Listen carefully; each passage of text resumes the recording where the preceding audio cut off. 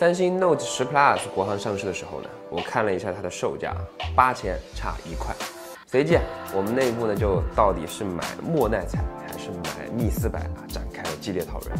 那由于讨论过于投入啊，没两天 iPhone 十一上市，然后华为 Mate 三零上市了，再然后国庆啊，那段时间可真是环环相扣啊，割得有理有据。做媒体嘛，毕竟还是要讲究一下追热点。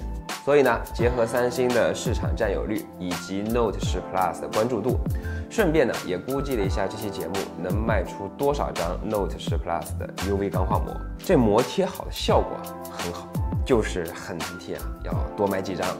哎，我这暗示不明显吧？综合考虑后呢，这节目啊就往后挪了一下位置，各位看官多多包涵。责任推卸完了，开拆吧。第一步，关机后取出卡托。卡托呢，在机身的顶部，塑料加金属的材质，内侧有防尘防水的胶圈，还是一贯坚持三选二的设计啊。为了这外置存储，也是牺牲了不少的内部空间。我最近一次买存储卡给手机扩容，已经是十五年前的记忆了。当时给我的诺基亚七六幺零买了一张一百二十八兆的存储卡。对了啊，由于这是一支带笔的机。第一步还没完，下方的 S Pen 索性的一块去了吧，和上代一样，不计体位随便盲插，但是要注意速度和力度。Note 5之前是不可以盲插的，哎，当年有插反经历的朋友，要不发个弹幕让大家开心一下。第二步，拆卸后盖，三宝宝结构，九十摄氏度加热后盖三分钟，用吸盘拉开一条缝隙啊，配合拆机片和热风枪即可分离后盖。后盖除了四周的粘胶外呢，还设置了两大块双面胶防漏冰。上方有两片散热膜，四摄和红外闪光灯开孔都被同一个金属件保护。第三步，拆卸主板。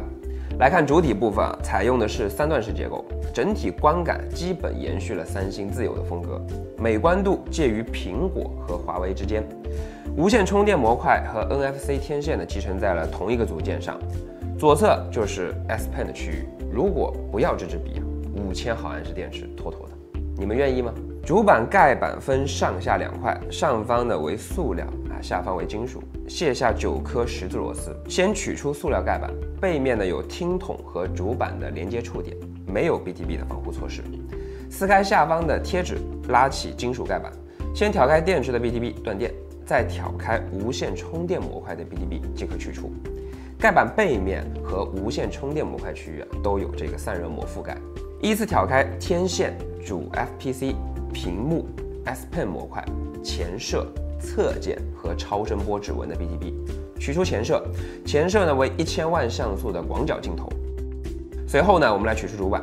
后摄有三个 BTB，挑开后发现主摄和长焦呢是通过一个 BTB 连接，剩余的两个对应的是广角和 TOF 模块。主摄和长焦呢都有 OIS 光学防抖，详细参数请看图。来看主板，这回三星也采用了类似 iPhone 的双层主板，闪光灯、两个麦克风和感应总线都是焊接在主板上的。座子没有防护措施，上方裸露的这颗芯片呢为 WiFi 蓝牙模块，背面这屏蔽罩上的散热模块啊，看上去就很扎实啊。撕开后呢，可以看到表面是散热硅胶。往下一层呢是散热铜箔和石墨散热膜，芯片区域还有硅脂和散热凝胶啊，SOC、ROM 和 X50 基带均有覆盖，再配合之前盖板上的散热膜和中框上大块的均热板，至少从用料上看比 iPhone 靠谱多了。至于实际体验嘛，Note 10 Plus 果然料没有白对啊，贴错了贴错了，Note 10 Plus 的这料看来是白对了。听筒集成了扬声器，看硬件尺寸也没变小。顶部边框内侧可以看到四个天线触点，到现在为止啊还没有看到一根同轴线。第四步，拆卸副板部分，先卸下表面的五颗螺丝，取出喇叭 box、音腔的尺寸，大家看图。卸下侧边的两颗螺丝，挑开天线的 BTB，取出天线。那这个部件啊就是高通的毫米波天线模块。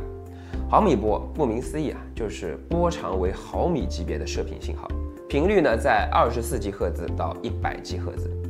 毫米的好处啊是这个波数窄，这样即使部署密集的基站呢，也不会彼此受到干扰，还一举解决了毫米波不适合远距离传输和穿透能力弱的缺点。其次啊，就是最大带宽呢为四百兆赫兹，是四 G 的四倍，相应的数据传输速率快了十倍甚至更多。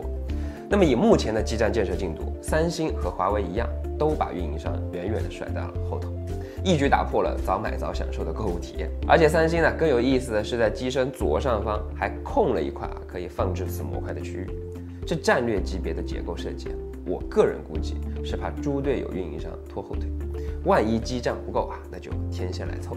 从目前的内部情况来看，Note 10 Plus 应该也采用了和 iPhone 一样的 LCP 天线材料。区别于像华为那样传统的同轴线，LCP 损耗更低，空间占用率也更低，更适合即将到来的 5G 手机。挑开主 FPC 的 BTB，卸下三颗固定副板的螺丝后即可取出。充电口内侧有防尘防水的胶圈。来看这颗接近正方形的 X 轴线性马达，看尺寸和小米九 Pro 的差不多啊。回头呢，我拆了对比一下。下方可以看到自家的触控芯片，超声波指纹的排线呢，一直延伸到了机身的右上方。Note 10 Plus 的指纹模块面积较 S 十系列是要大一圈的，实际体验呢，不论是识别速度还是识别率，尤其是贴了 UV 钢化膜后的识别率大幅提升。我都这么明显的暗示了，还不赶紧点开淘宝 App 扫码？S Pen 区域表面呢有一层塑料盖板，用拆机片切开粘胶即可取出。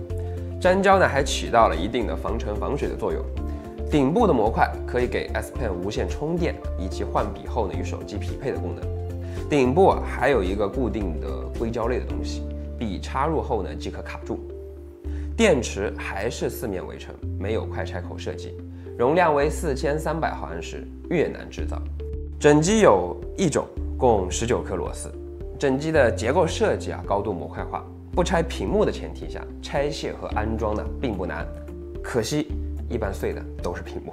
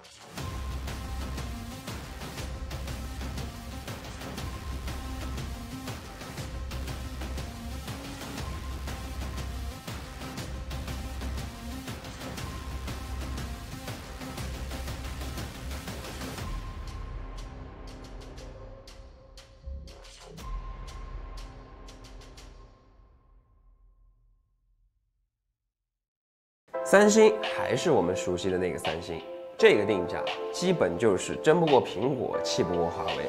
这几年尽心尽力的将高端安卓手机市场拱手让给了华为，反正屏幕和内存都挺挣钱的。现在还开始抢大法的相机市场，做手机呢，真的就是交个朋友，不谈钱。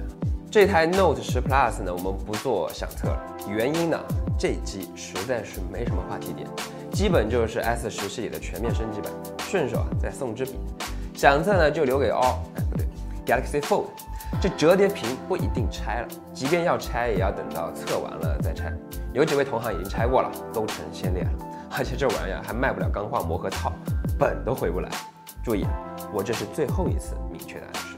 好了，本期节目呢就到这里，我是罗宾，我们下期想拆再见。